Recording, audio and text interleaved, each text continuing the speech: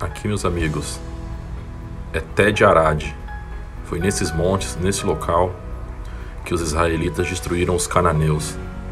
Foi aqui que eles lutaram contra os cananeus e venceram bravamente. Esse local, esse local está narrado em números, tá? Em juízes também. Aqui nesse local, os israelitas venceram e passaram a chamar de Omã.